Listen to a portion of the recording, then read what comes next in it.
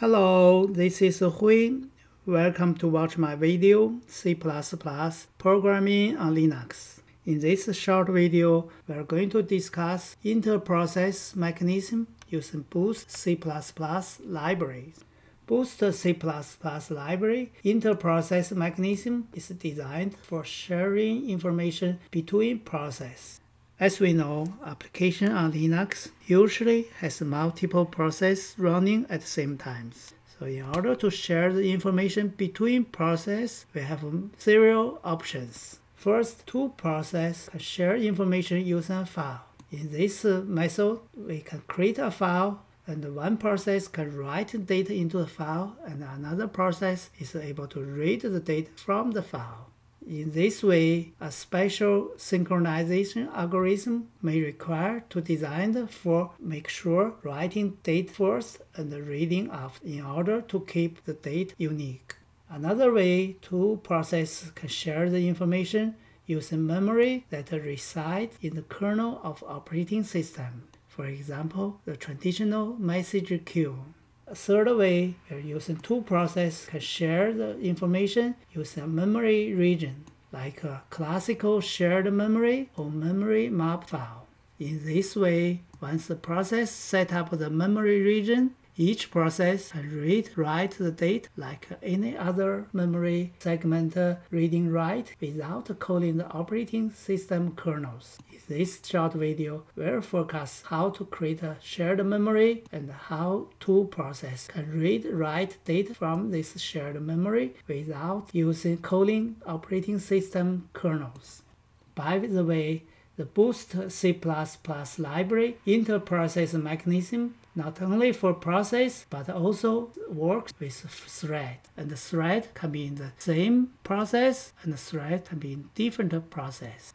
Here on the Linux we create one program called create shared memory and another program is open shared memory the create shared memory will be create and allocated memory which is able to shared by another process. So the header file is manage shared memory.hpp. So the class we're using to create segment of shared memory is manager shared memory. In this we create a segment with three parameters. First is action, which we can use create only. And the second, we need a name. I just name my shared memory.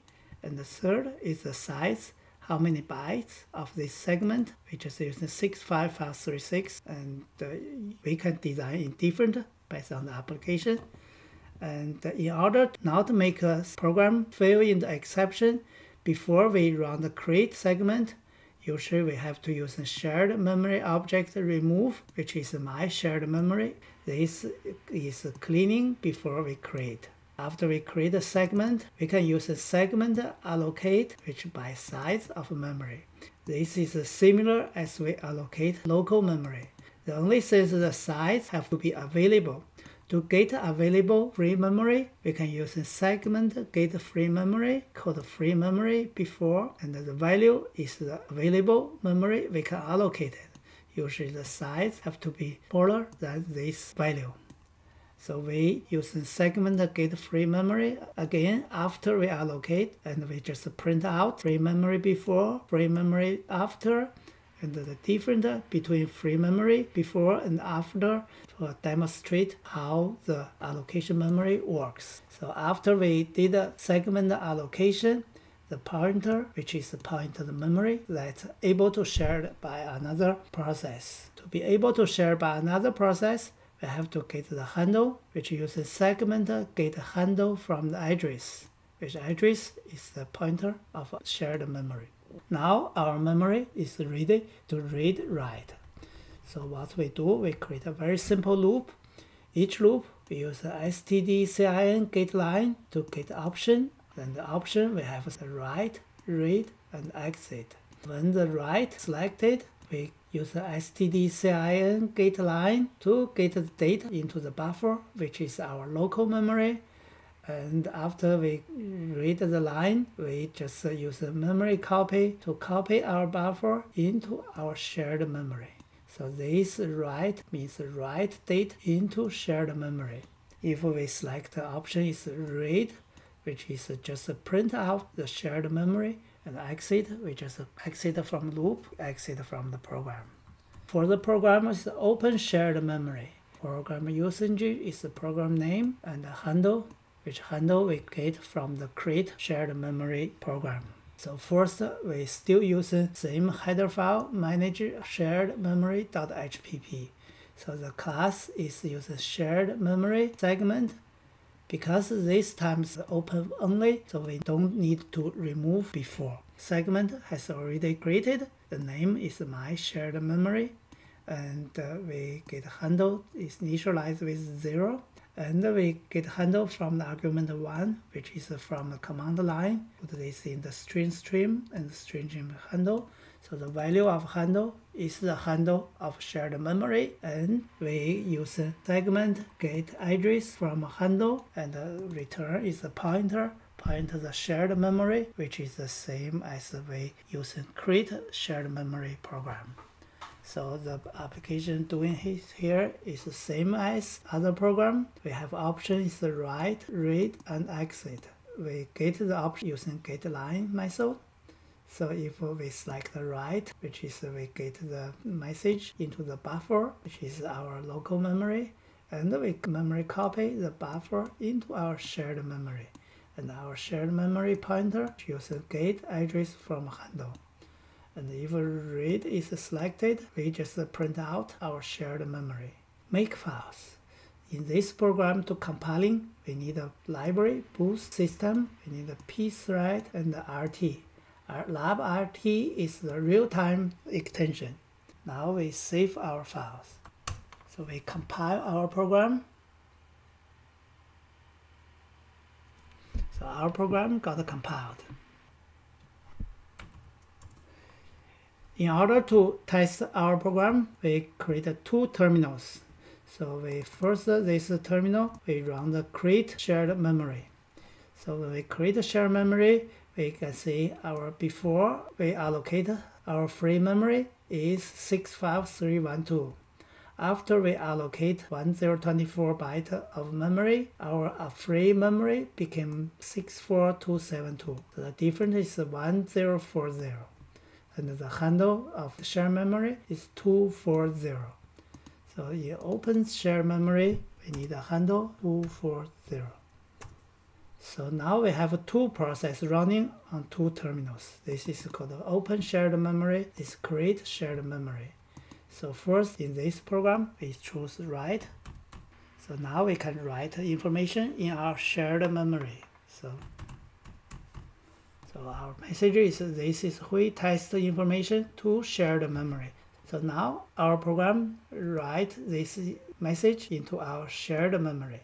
This process is using same shared memory of this process. So we use read see this shared memory of this process is this is we test information to shared memory. So this is exactly same when we use this process. If we choose write from this program. So we say so this is the rewrite test information to shared memory. So now we write this into shared memory of this process. And then we go to this process, choose read. You can see this is a rewrite test shared memory to shared memory. So exactly same, we write this and we read from this. As we see, because the link of these two processes is a shared memory. So reading and writing this memory is directly like we reading write local memory without invoke the operating system kernels. So this is a fast way to communicate between two processes. As we say at the beginning, and the two processes can share the information using a file. In previous video, we made an example to write a date into a file. So this is write a date into JSON file called my test.j. So in this case, we write a date into the JSON files. So this is the date we write into the JSON file. So now we can use another process to read this JSON file.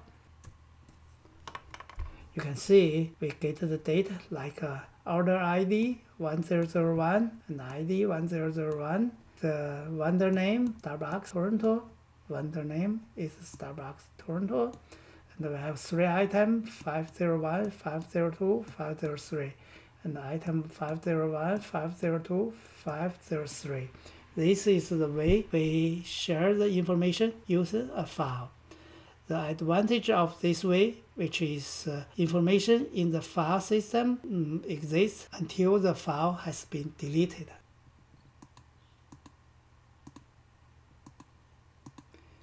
In one of our previous video, we made a demo how to use a message queue to communicate between two processes. In that case, we can create a message queue sender and a message queue receive. So these two terminals, this is a sender, this is receive. From the sender, so in this case, this message, when we send to the message queue, and this process which read from the message queue. This is the way user memory reside or locate in the kernel of operating system. Using message queue to communicate between process. We have to check our limit to check the message queue limit, we can use the command ulimit, Unix limit, and manual HP, which is the P, and manual HQ. So here you can see the limit of my message queue is 819200 and the size of message queue is 8. It means our message queue is maximum handle 8 message and the maximum size of message queue is 819200 in your application, you have to check how your setup of your operating system. Hello, this is Hui. Thanks to watch my video. Hopefully this is useful, enjoyable. It's going to be great to have your feedback.